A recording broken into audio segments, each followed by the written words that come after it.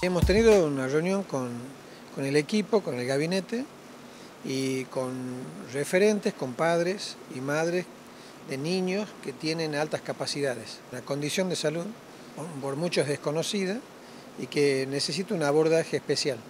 Entonces hemos tenido una reunión donde hemos consensuado trabajar Ministerio de Educación, Ministerio de Salud, con los padres para tener un abordaje mucho más efectivo. Si bien es que es una condición las, altas capacidades, pero bueno, poder eh, articular y escuchar a los padres que están en este proceso de formación de una fundación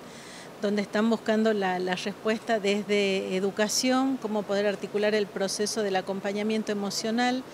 tanto a los chicos que tienen esta condición como a las familias que de algún modo vienen planteando diferentes procesos en cuanto al, diagnóstico y al proceso, digamos, de adaptación para poder incorporarse a diferentes actividades, sobre todo lo, escolar, que es lo que por ahí hicieron mención que al principio les vino costando. Es fundamental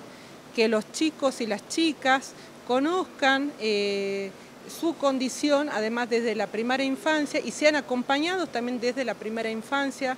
para llegar a una vida adulta sana, con dignidad y, en plenitud. Decirle a, los papás que estén pendientes toda vez que vean que sus hijos tienen una cosa que se llama precocidad, que son logros eh, antes de lo esperado.